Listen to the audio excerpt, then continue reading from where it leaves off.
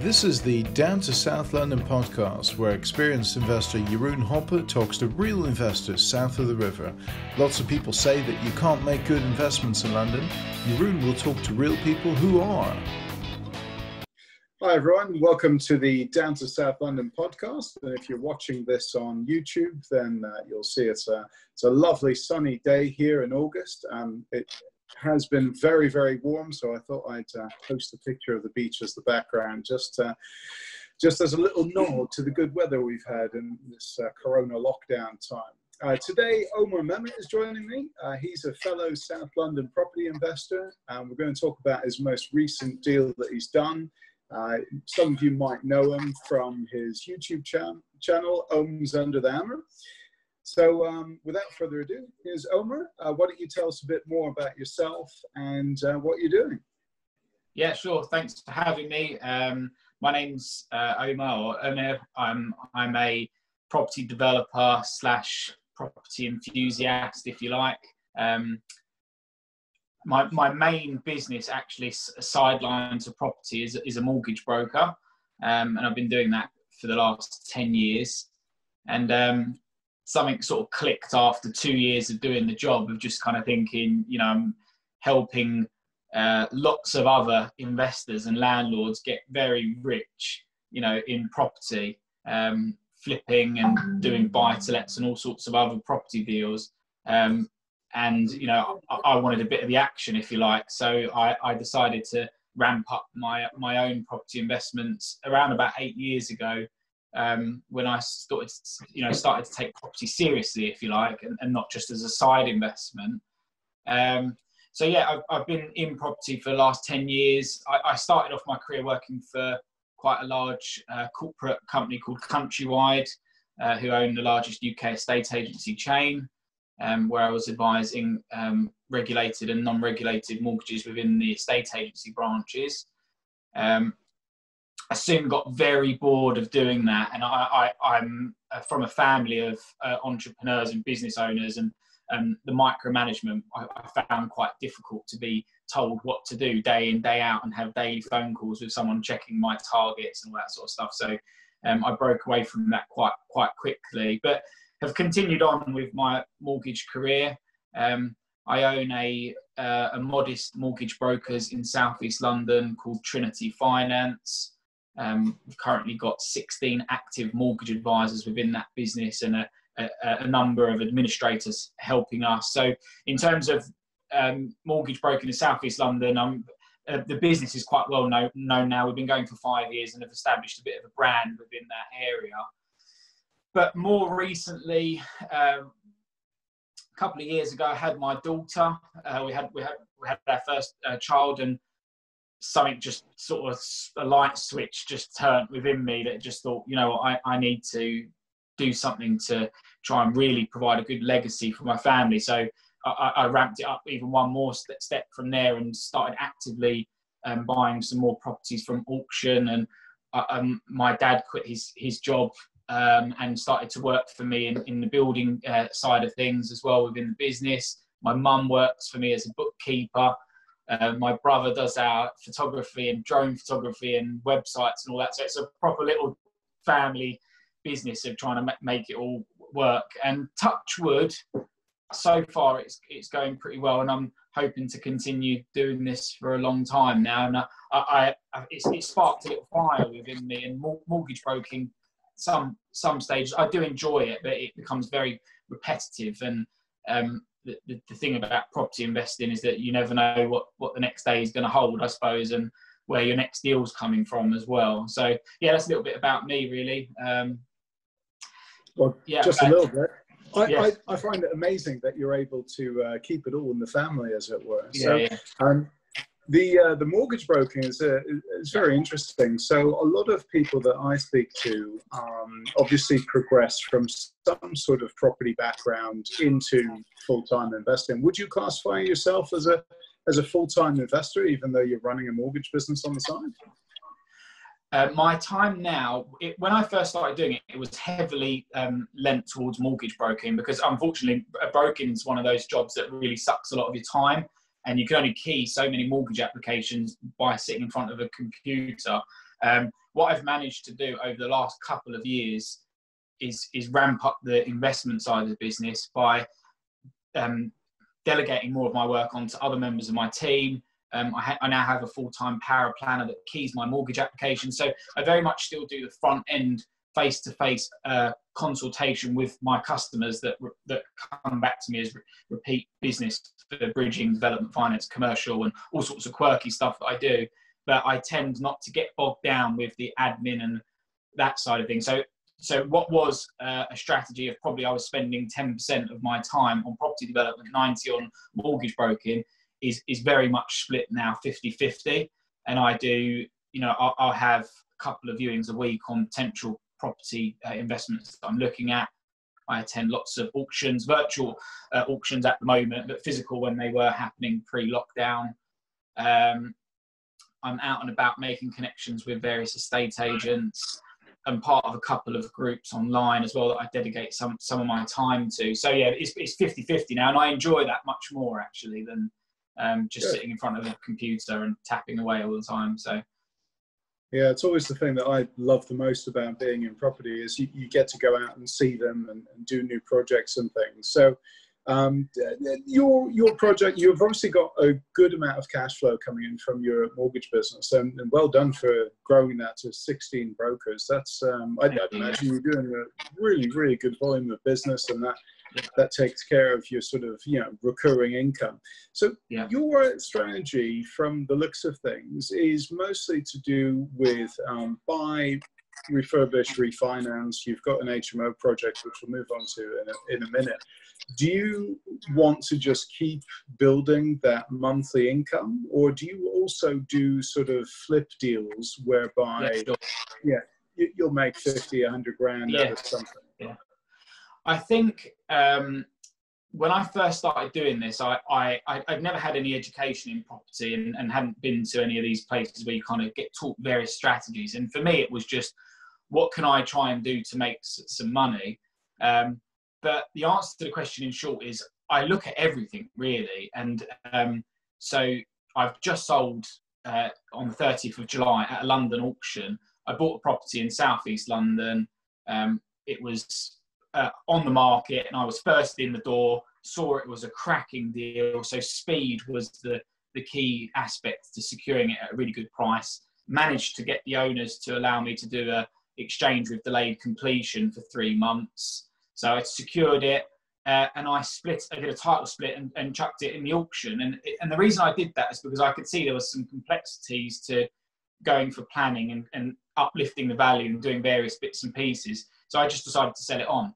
Um, I, it's you know as you probably know it's very much a seller's market at the moment the auctions are absolutely going crazy for stuff i managed to secure uh, a really good lot position for both of them at a London-based auction, and and and uh, um, hopefully, if all completes on the 28th of August, I should make a hundred hundred thousand pounds pre-tax profit from one deal that I never owned. You know, wow, I, I exchanged, I haven't completed on it. So that's my first um, touch into a trade, if you like. I've never traded a property before because I've always had my dad there and the building team that's kind of been able to keep the costs down and never wanted to just flip it onto someone else and do, do the stuff myself. My first ever property deal was a classic buy refurb refinance type structure, but with a little cherry on top in that I managed to keep a little bit of land to the side of the property and sold that piece of land on without planning. Um, and yeah, I've, I've done a few different things. I've done like a lease extension. I've made some money out. I've, I've bought five properties at auction since I started doing this, which have all been um, seriously below market value or had a little problem with them that I, I identified and could solve. Um, I did a HMO last year, just a, a small four bed HMO. I'm currently um, in the process of building out an eight bed HMO. So I'm, I think the thing about South London is we don't get inundated with property deals that are really good. There, there's, there's lots of deals available, but look when you look at the numbers, trying to get a 30% below market value deal in South London just doesn't happen, does it? Unless you literally think it's very, very difficult. Now, if you go up north, you'll find they're, they're all over the place, you know, and you, you get sent them daily, don't you? But so for me, it's it's always been looking to find something that I could see an angle on that potentially was a bit undervalued, that I knew I could do something with it. Um, mm-hmm. And that's where I've kind of got to the, where I am at the moment of having gained a bit of experience in trading um, HMO, uh, the auction purchases that I've done, and just generally doing up properties and trying to hold them if I can, but if they don't work, selling them on, I suppose. Um, it's good that you've got multiple exit strategies. I think it's uh, it's very powerful if you look if you're able to look at things. And a lot of the time, these opportunities present themselves because there's some kind of headache with it. And if you've got the knowledge to solve that headache or problem, as yeah. it were, um, yeah. then it, you know it, it's the age-old thing. If something's selling at yeah. 150 uh, because it needs work, it needs 50 grand worth of work. That that doesn't mean that's going to you know, it's not going to work if you're going to resell it for 200. But, yeah, you know, exactly. if there's a margin in there to be able to do the work cheaper or buy it cheaper, yeah. and there's a margin, you're using your yeah. brains to create that profit, as it were. Well, and a, and a bit leg yeah. sure. Yeah, definitely. I feel, I feel like um, I've managed to put myself in a position where I've got a few advantages. And one is that because I do the finance myself, I'm able to move extremely quickly on that front. And I, I've, I've financed a number of auction purchases using buy, uh, traditional buy-to-let mortgages. And people tell you it's not possible. You can't do it in the time frame and you need a bridge and blah, blah. Well, that is true if you've got a mortgage broker that's got a stack of 20 cases on his desk and you're just one of those cases. But for my own ones, it's actually all of you lot get off my desk. I'm going to do this one. So um, so, so there's that aspect. Then there's my dad that I have on payroll, and so I'm not paying a huge building company to spend a load of money on a refurb, I'm, and I'm really keeping in touch with that. Um, but just on what you just said there about like identifying a problem. So I'm just thinking um, out loud here. Last year, I bought a property from Clive Emson Auction in Kent, or down, yep. down in Maidstone, and the property was quite local to me. It was in Orpington in, in Bromley, and I, I went to view it, and the, and there was quite a lot of viewings. You know, at the auctions, you turn up and quite quite often, more often than not, you'll have 20 people there all looking at the property at the same time. So this was last year. I'd gone. There's a big old crack on the back of this house, oh, and I could see. I could see everybody was standing at the back going, "Oh, this, this, this is subsidence," and you could just tell people that I'm not saying everyone's like that. Some people really do know what they're doing, but a lot of people were there and they were thinking there's some serious movement in this. It's going to need under. I heard the conversations. It's going to need underpinning. It's going to need this. It's going to need that. I stood at the back with my dad and quietly whispered, "I bet you that's a, a cracked lintel." And I bet you we they've not put the lintel in deep enough, and we can solve that. And we do a little extension out the back. We, we won't need to even touch the foundations. And he looked at me and yeah, I think you're right. Um, and we picked that up at auction. Um, it was a three bed semi detached house in Orpington. We picked it up for 265 grand, which is quite cheap for the Bromley area for a three bed house. You can't normally get them that sort of price just because other people were put off by that crack. And I sold it really for about 1500 quid, the problem. Um, so, so that was quite a good one. And the, the other thing that happened on that was, that was quite good actually, got to the auction and when I, I got I, I'm I just bit of an enthusiast, so I just like to get to the auction early and you know have a coffee and enjoy the experience of the day and all that sort of stuff. And I I got there really early. I think I was one of the first people there, um, just doing doing a bit of work while I'm there and whatever else. And as the the first part of the morning progressed, I noticed that the queue outside the auction was just getting bigger and bigger and bigger and bigger. And I'd done my AML well before, and I'd previously bid there, so they, they already had all my documents, and I had my bidding card and whatever. But the chap at Clive Emson said, um, I can't remember the time exactly, but let's say the auction was to start at 10. He announced, we can't start at 10 because we've got a massive queue of people outside that haven't registered yet, and I need to get them in first before I'll start bidding because we haven't got through the AML process. So this lot was being sold at lot number two, and I was thinking, just start it because if no one's in here, more chance, less competition. Course, yeah.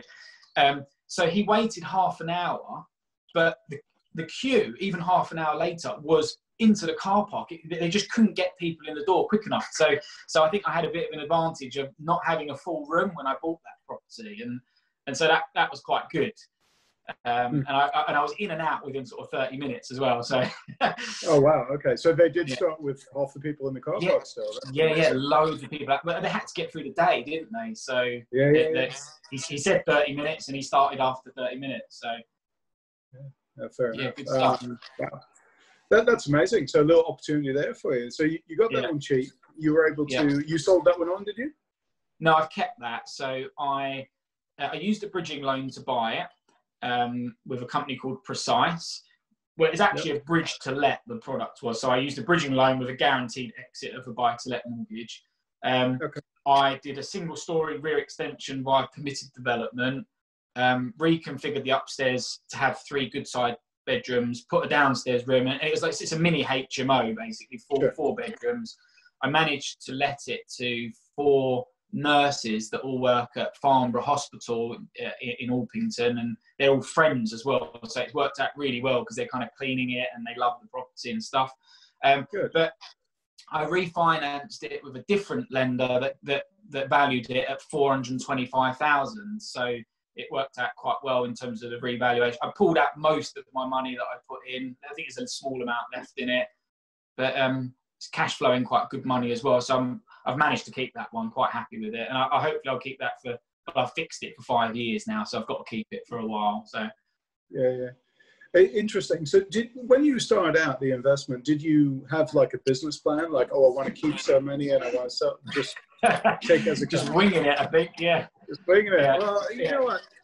a lot of people go into business and say, "Oh, I want to do this specifically," because they don't have the knowledge on on other things. But I think, you know, having worked in estate agencies, both of us, yeah. you, you, can kind of see more more deals than the average person. So yeah. I think uh, I, am very much in your camp actually. When I see a deal, you, you kind of know what to do with it or who to get involved. You know, if, yeah. There's lease extensions I've done before, um, got burnt badly because I took a punt that didn't pay off. I've, I would definitely do one again, obviously. Yeah. Um, because there's success to be had there. HMOs, as you'll know, I've, done quite a few of those, and um, flips, I've done a few of those as well. So uh, you know, there's a wide spectrum yeah. of things that we have in common there. That's um, that's brilliant. Yeah. So, Sounds good. Um, my ethos is always invest close to home, and clearly you've been around the houses in South London. It yeah. sounds to me like we're on the same page there as well. What um, yeah. what inspired you to stay closer to home as opposed to, and, and you did touch on it before, um, investing yeah. up north where you can pull all your money out and there's loads of deals, and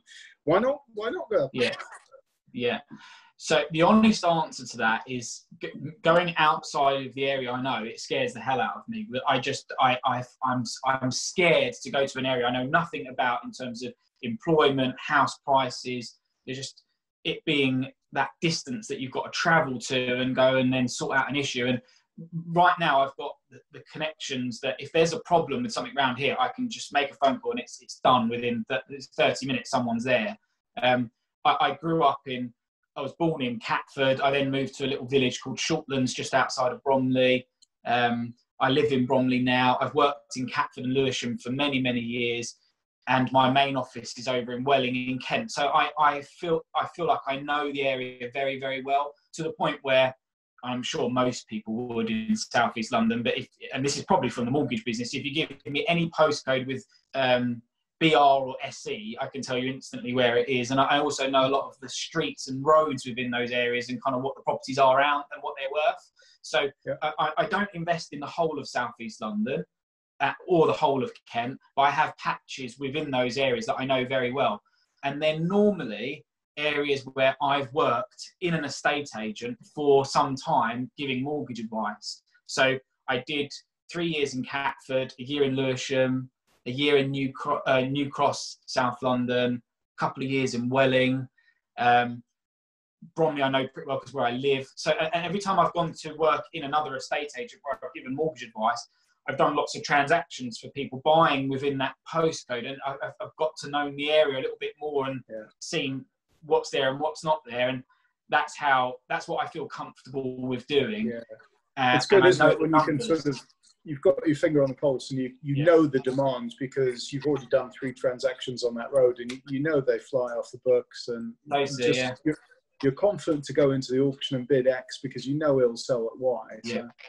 It's uh, Yeah. it's invaluable information. So, Yeah. um, tell me about your YouTube channel. I uh, I was watching a couple of videos, very slick. You mentioned your brother does the drone photography, really really nicely done. Because I was looking at the channel, I was like, wow, that's that's Yeah. some really good filming. I'm, I'm, I'm Yeah. writing down tips here as I speak. But, um, what inspired You know, you it- to get onto YouTube? it, it, do you know what it was it was more um just just filming a bit of a hobby really. I did i didn't set the youtube channel up to be one of these kind of property educators that's going to preach about you should do this and get a good return on it. It was never about that. It was just kind of a so many people that i speak to that are in property are kind of got this negative view of south london and london and you can't do it in london because it's too expensive and you can't get the deposit to buy it and you can't do and i just thought well I've been doing it for the last eight years and it seems to be going okay. So I don't believe that.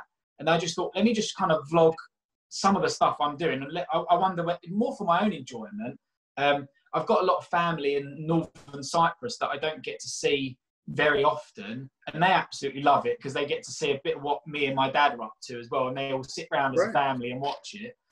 Um, so yeah, it was purely a hobby. It's like just to break the day-to-day mundane mortgage broking and just show people a little bit about what I enjoy doing outside of that. And I suppose the longer it's gone on, the more I've started to think about it as a business, not in terms of like monetizing the income from YouTube, but just like building a bit of presence within the industry and maybe I don't know. I- I'm not intending to be like a Ranjan Bhattacharya or something, but just you know, just I don't know, just some, something fun that people might enjoy watching and stuff. So um, I don't know where it will go. It's just one of those things, isn't it? So Yeah, uh, same. I, I put up YouTube for a bit of social profile, and I think um, I, I think it's helped to no end, obviously. And I love connecting people, and, and Yeah. part of the the whole YouTube business, um, well, business if you want to call it that, is um, yeah, it's it's hobby, and it's uh, it's great to get out there, isn't it, and show people your projects and keep in yeah, touch with definitely. absolutely ideal. So, no, it's good. I like the whole investing close to home ethos. I'm very, uh, very much the same. And you know, just like you just said, there's so many people that think, oh, you can't do it in London because you're paying too much on deposits and stamp duty and all that nonsense. It's uh, it's not true. You can Yeah. invest and Yeah. make a good living in South London. I mean, if you're in Manchester, then by all means invest in Manchester because it's cheaper there. Yeah. Um, but the point that I make with a lot of people that I meet is you can invest close to home. You can invest in South London. You know, I know 150 property investors down in South London that are doing very, very well. Um, Yeah. You being one of them, and um, there's no reason why more can't do so. There's lots of opportunities, you know, for uh, corner plots to be developed or Yeah. um, air spaces to be developed, more HMOs to be made, more houses to be turned into flats. There's loads of opportunities Yeah, for exactly. lease extensions. You know, the list goes on. So it's just finding the right stuff, isn't it? And I think, um, you know, I, I get a lot of clients that come to me that are after a buy to let, and some people are just they're very much just after for some something vanilla that they can kind of just buy, rent it out, get the yield, and don't you know if you start mentioning the fact that they might need to do something up or spend any money on it, it just kind of all goes actually that's that's not within my remit, and I've got a full time job, and I don't really want to get involved in that. And m- my view's always been I'm actually I've always looked for the one that's like you know the worst house on the best road type scenario. Um, apologies, I just had a call come in. I just shut that off. So yeah, always looking for like the worst, uh, the best, worst house in the best road, or some. It's a lot of the times it's been stuff that I've been able to get at speed. So I I, I um, browse the portals, but looking specifically for certain things and looking instantly when they come up and then trying to view them within the same day or within the same hour, for example. Mhm. And I think sometimes that's the speed gives me a little bit of an advantage. The set the second thing I try to do is where I've got as a business, Trinity's got relationships with 26 different estate agents across Southeast London and Kent. So I nurture those relationships, and as and when there are properties that potentially have some problems or things that, that might be referring on to auctions and things like that, I, I try to see if I can have a look at those and see if I can make them work as well. So having those connections is pretty good. Yeah. Um, yeah, no, then- absolutely. Speed and connections makes a big difference to how many opportunities you're you're able to transact Yeah. on as well.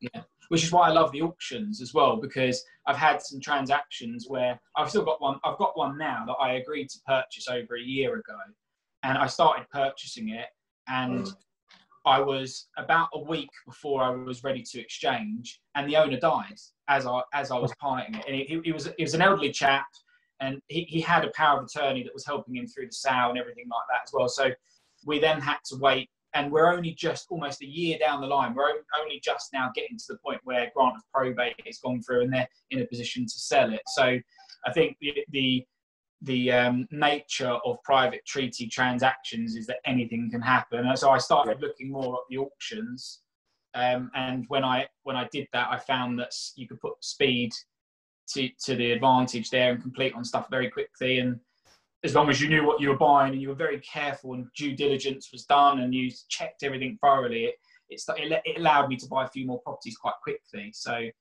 um, good. Yeah, good stuff. Yeah. yeah. So we've talked about your uh, your strategy, as in just wing it, love it. Um, yeah. talked about your most, re- most recent HMO. Do you want to just highlight the figures on that because that's something that we hadn't yeah. touched on. The HMO, yeah. So so um, sorry, my I'm going to have to just turn that off because someone keeps calling my phone. It's interrupting this. Right, I've just turned that off, so they shouldn't be able to call me now. Um, right, so most recent recent HMO bought it from auction. Um, I paid three hundred and forty-five thousand for it. It's a three-bedroom semi-detached house.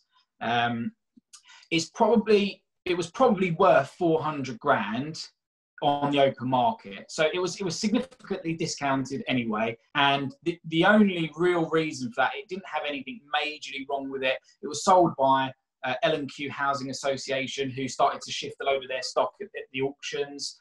Um, and it just it was just a bit tired, and it wasn't lettable from day one, so you could, not get a buy-to-let mortgage on it, and it, it was either bridge or cash. Chucked into an auction because of the speed, it put some people off. So so probably 50, 10, 15% under value from day one.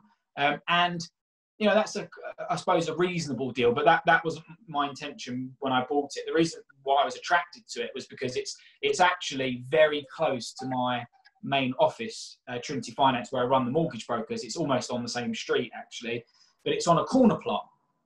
And I saw the house next door, and I, and, and funnily enough, the house next door is actually one of my clients that I've done a remortgage on, and I knew what her house valued at. So I did the, the refinance on it. I, she, has got a five bed semi detached house that she did a big wraparound extension on. And, I, and this one came up, and I thought, I know I can guarantee, I'm pretty much guaranteed to get that, but I wonder if I could get um, a HMO there instead. And I, I, knew that it was it could be a big potential because of the plot.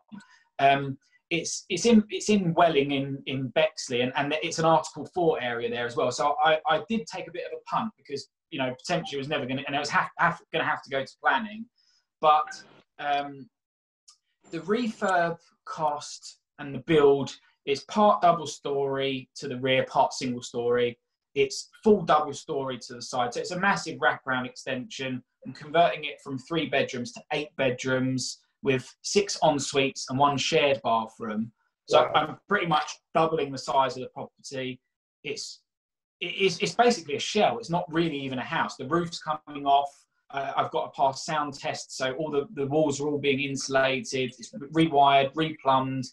Um, you know, there's a lot going into it. It's the furniture inside. I've got to redo the driveway. You know, at the moment, my schedule of work says I'm going to spend 150 grand on it and that's even with me managing a project, having people working for me rather than outsourcing to a building company. That's quite um, conservative. That's not a lot of money for the amount of work that you just described, if you don't mind me saying yeah. so. So obviously using yeah. a family is, is a big yeah. saver there. Yeah, yeah, yeah. I mean, with the neighbour next door, she paid 150 grand to have her wraparound extension built. Has no element of uh, seven bathrooms with and, and that 150 is including CCTV, do- doors on every, uh, sorry, locks on every doors, fire. It's everything that you need. So, so yeah, it's. I think that's easily, it's easily 200 grand if you if you outsource it. I think, and so there's that bit. So I, am in at um, when you work it all out, I'm in at about 520, completely done, and her house valued at six as a five bed semi. So when I work it out on a, if I if I get a yield based valuation, HMO valuation, and I think I should do because it's eight bedrooms, it's kind of not a standard house anymore. I'm hoping the valuation is going to come in about 650. Um, it it may come in slightly less because of COVID 19 and mm-hmm. being a bit cautious and stuff like that at the moment. I can't see the valuation coming in at less than six because I think that's the bricks and mortar valuation. Um, yeah. But yeah, uh, this one really was wasn't a buy it and sell it on. It was a buy it, do it up, get the eight bedrooms let out, uh, you know, and get some nice rental coming in. It's also got this really big uh, frontage to the property that I'm going to potentially block pave and, and have some parking there as well. And one of the issues I've got with my Trinity Finance office is that I don't have any parking. So I'm planning to keep two spaces there that I can keep for for, for our business to park some cars uh, from time to time as well. So there was that as an added benefit, if you like. Um, but yeah, that's really good. That's really yeah, good. we're probably going to be four or five months, I would imagine, to finish it. So it's a big old project. Yeah, yeah, I imagine so. I mean, the works that you just described, it's uh, it's, it's massive. Um, and I, I believe I remember you saying you bought it about eight months ago. Is that right? Yes, uh, I bought it in. No, so I the auction was about eight months ago. Yeah, funnily enough, uh, London and Quadrant Housing Association had a restriction on title that they wouldn't dispose of the property until a certain bit of uh, a certain charge that they had on the property was released. And so I don't think I actually completed on it until January, February time, uh, late January. Then I went to planning, which took a couple of months. Then the lockdown hit in, so I've just sat on it and I've only finished off another project. And we've only just started about three weeks ago, so sort of um, mid July 2020 we started, uh, and I'm hoping to be done, sort of done and have the property ready for letting beginning of December this year. Okay. Okay. Yes. Uh, good. Good time scales all right. Um, yeah. We touched on COVID nineteen. Um, you're mainly southeast London. I'm mainly southwest. I've seen room rents drop significantly here. Uh, we're talking ten to twenty percent in some circumstances. Uh, single let rates have remained largely the same. Um, how have you found Southeast London rents and the whole uh, COVID pandemic situation? From my own point of view, I'm I'm not particularly affected. My rents haven't changed much at all. I think that's probably down to the types of tenants that I've got in there and how I've really vetted them before they've gone in.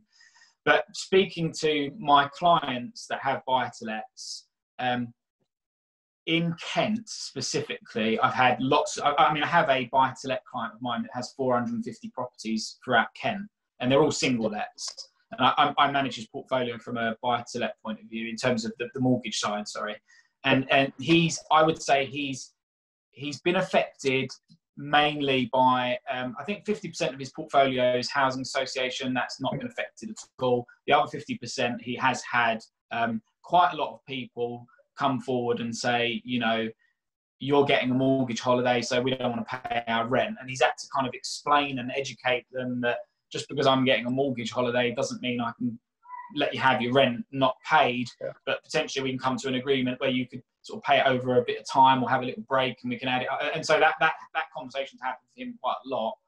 Um, yeah. I've also got a HMO client of mine who's got lots of rooms. I think in total 200 odd in southeast.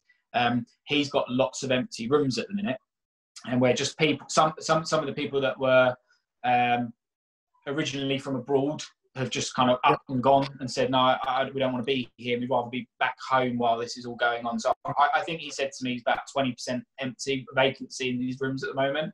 So, okay. so, I suppose that is a little bit scary for, you know, you're about to build an eight bed HMO and you need eight tenants and you, you've got potential some um, occupancy issues but at the same time, I mean, what I did do, funnily enough, was I put an advert up on um, Open Rent and SpareRoom.com with just a stock photo of one of my other rooms for this location and just put, popped it out there. And I think I had 22 inquiries in two days for the room. So there's definitely demand here for them. So I think they'll well, go. That's, that's encouraging.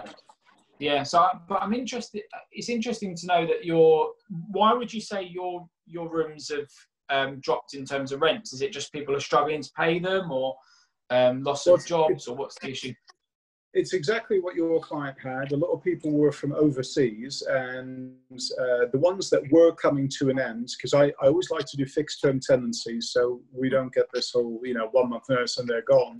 Um, yeah. But it just so happened that a few were up in, you know, March, April, yeah. May, whatever. Yeah. And they did indeed say, look, we're, we're going to go home or whatever. You know, they may have even left before the lockdown, just weeks before, paid the last month's rent, and, and off they went. Um, so we had a good fair few like that. And then obviously, once the room is empty, well, you can't fill it during lockdown at all because there was no movement whatsoever. Yeah. Uh, and then uh, once the lockdown restrictions were lifted, we found that demand was really slow to come back because people were very wary. You know, if they didn't have to move, they weren't moving. You know, yeah. I even had silly inquiries for, you know, someone wanted to rent a room that was 600. I said, oh, where are you now? What are you paying? Oh, I'm paying 650. And she was in a much better location right next to the tube. And I said, well, surely you're not going to, you know, save any money because you're going to be traveling longer and further and your travel card and all for 50 quid, it's going to balance out the same anyway. Yeah. And she said, oh, I'll pull back. I never did. And then probably realized yeah. how stupid it sounded just to save 50 quid. And that, yeah. that was pretty much the only inquiry I had that month. So, you know, go figure. Um, yeah. All the rooms did let. We're full house now, but we're now early August, and the lockdown restrictions have been lifted for well a fair few months now. I think uh, was it middle of June? I forget now. The, the yeah, yeah, yeah, yeah. it was, so it's yeah. taken six weeks to get back to full house sort of thing. But yeah, we, we dropped to sort of 80, 85% occupancy, whereas normally we're running on 97, 100%. Um, the single let, as I mentioned, as you said, uh, they weren't very affected uh, in your own portfolio. They haven't in mind either. Um, mainly because you know fixed term contract. They actually uh, most of them expire from August, September, and yeah. a lot of renewals. A lot of people just want to stay put.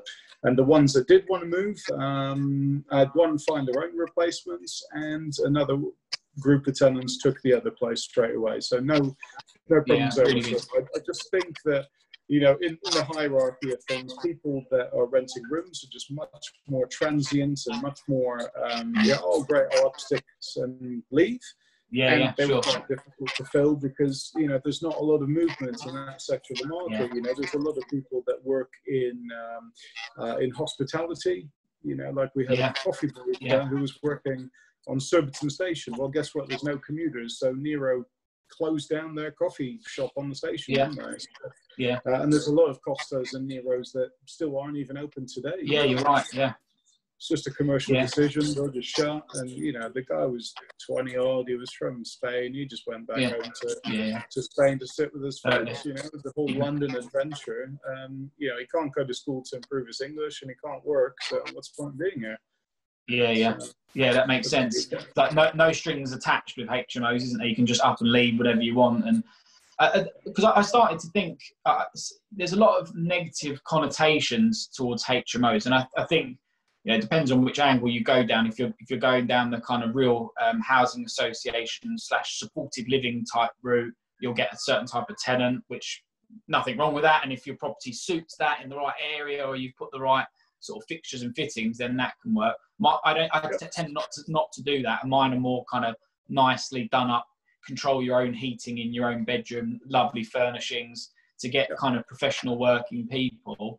But what, when I started to think about this HMO in particular, like filling the rooms and would I have any issues, and I, in the area that it is, you can't rent a one bedroom flat for less than a thousand pounds per month, say. And then on top of that, you've got your council tax, your gas, your electric, your water. You need an internet connection, and you know you're, you're probably spending 12, 50, 1300 pounds a month to have that property. So, so taking a room at 600 or 650 and having all your bills included for some people, oh. especially oh. if they're if they're going to be in a time of you know a bit of uncertainty and they don't know what's happening with their job and things like that, it, it may well be that we might get some more demand for our rooms. You know, if we are dipping into a bit of a recession next year and that type of stuff. So. Uh, it, it's a good room rate, really good room rate. I know other yeah. people that are renting out much more expensive rooms where um, the, the, the one bed prices are about the same, to be fair. Yeah, yeah. Uh, yeah. You're offering really good value for money. So where yeah. you offer good value for money, I, I, don't think you'll struggle to, to fill the rooms. And yeah, again, we're on the same page there. My own HMO portfolio, all very nicely done. Yeah. Um, but the room rentals that I do, um, that's the rent to rent portfolio, they're a little bit more on the um, blue collar worker side of the Yes. quality spectrum than, than my own Okay, HMO. sure, yeah. But um, I, I think um, I, I, I like to think that um, that there's a future for HMO rooms. Uh, that whole co-living thing is uh, is here to stay. A lot of people have been doubtful that um, people would want to continue to live together because of the whole COVID uh, spreading diseases, other people. will, You know, get out my face sort of thing.